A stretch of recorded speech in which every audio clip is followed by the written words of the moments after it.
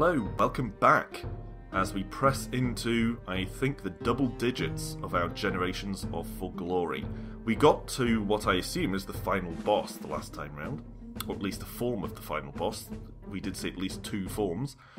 And we've gone for the ultimate armor, the ultimate hat, and one of the best miscellaneous items this time. So let's go with with Warwick Pelty. Well, that's not a name that inspires confidence.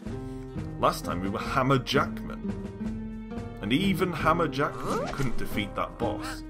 So what sort of chance does Warwick Pelty stand? Oh, fucking gnolls! Seriously? I mean, these are the first enemies out of the gate, and they still hurt us and knock us down. It's getting beyond a joke here. Get away from me! And I would like to just run past these enemies and not waste my time with them. But as far as I can tell, that actually doesn't help. It seems like enemies just continue to chase you down for as long as they're alive. So we have to kill all of this shit. Come on, Warwick. And incidentally, that's not how you spell Warwick. Warwick is actually the name of a place, and um, a pretty nice castle, actually, in England, and it's spelt W A R W I C K. That's not Warwick, that's Warwick. And Warwick doesn't have two R's. Alright.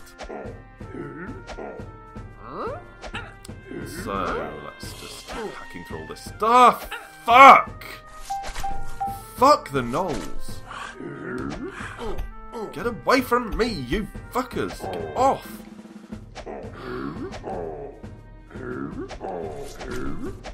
Seriously, I would be laughing about the ludicrousness of this gnoll situation if it wasn't so irritating. It's, actually so stupid that it's becoming really aggravating. Fuck, get off. I was convinced one of them was going to hit me just then. But the mage hit me instead. I can't believe we've taken so much damage at this early stage. And mainly because of the bastard gnolls. Okay. Come on, Warwick. We can do this. Kill slimes, kill gnolls, kill mages. Dodge rocks. We haven't even got to the falling enemy part yet. It seemed like we got there much more quickly last time. Fuck off! Shooting me out of the air. Okay, kill the gnoll. Really, that slime should have been completely obliterated by that rock. But no! No, there's some kind of special human killing rocks that don't hurt anything that isn't human. Alright. Kill the gnolls. Kill the wizard guy. Brutes. Still going down in two hits, as last time, so that's nice.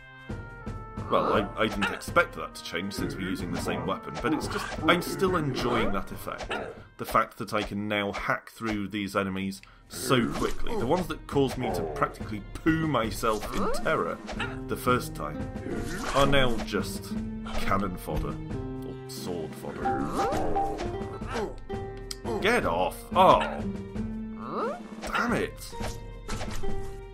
No! Some more stuff. Okay. I can't believe we haven't run into falling enemies yet. I'm sure we're at that point. In fact, I'd say we're past that point. But we're still facing simple rocks rather than falling enemies. Oh, get off me! Wow, I can't believe I killed that gnoll mid-pounce. I don't think I've ever seen that before. Alright, here are the falling enemies. Oh, get off, stupid piece of crap.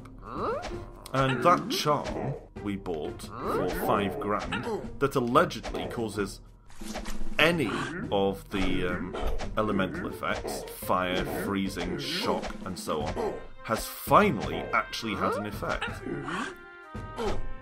It's that occasional thing again. It said occasionally has an effect, and it really means almost never has that effect.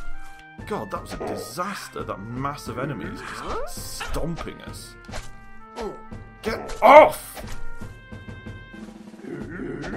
At least we get a health refill when we reach the boss. If we reach the boss, I'm not convinced Warwick Pelty is actually up to it. Need to take this guy down. I'm not too worried about brutes. Actually, despite the fact that brutes are intimidating, and if they grab you, they're serious fuckers. In many ways, they're actually less of a concern than base level gnolls are. Because as long as you don't let them grab you, they're not a big deal. God, we may not even make it to the boss here. Even though we have almost all the best gear in the game. Get off! I can't believe I didn't take a hit there. Same there. Right, Gnolls. No, no. the quizzical sounds all the enemies make are starting to grate, to say. Okay, put that guy out of his misery. Come on, Brute, down you go. And the Orc with the club, who really shouldn't be here. He's way out of his league at this point. Uh, out of his depth, that is. Out of his league would be, you know, he's trying to chat himself up, but he's too attractive for himself, which is just a weird mental image. Being out of your own league. Alright. Oh, thank God for that. We're back to the simple rock launching ballistas. That is a relief. Alright. Fuck. We've got maybe two hits left if we're lucky. Quite possibly just one. Come on, take out the brute. There we go. Take out the gnoll. Basic orc shouldn't be a big deal. Okay. Bait these guys forward a bit. There we go. Take out the ballista. And the brute should go down. There we go. We must be getting close. This actually feels like a longer run to the boss than last time. Take out that guy. Are we there? I think we're there. Almost no health, but we do get a refill. Ready? Here we go. So, as before, I'm going to cheese it because it takes so bloody long to get back here. I don't want to take any risks that I don't have to. Fuck! I can't believe he keeps hitting me after I hit him. That's really fucking irritating. Get back! Why does that sometimes work and sometimes not? Fuck! Oh, god damn it, get off! This is really fucking irritatingly designed boss here. Did we get a refill between his first and second forms? I don't remember. I think we probably don't, but I'm not certain. Damn it, how do we have better gear and yet find it harder to fight him? Oh, shit balls! Ugh. I'm really losing patience with this game, I have to say. One more, one more go. If I don't beat that bastard the next time, I quit. Because I, I know it's not exactly an admirable quality to go, you know what, I've just had enough. I've got to the final boss, but I give up. But I've been recording this in one sitting because there's no save function. And I'm rapidly running out of stamina with slogging through all that crap. Alright.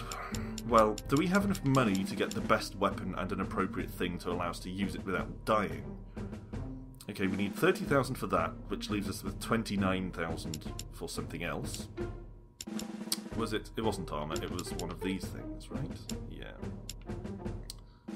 Yes. So actually we can buy both of the remaining best things and we'll just have all of the best gear. all the top stuff in every category.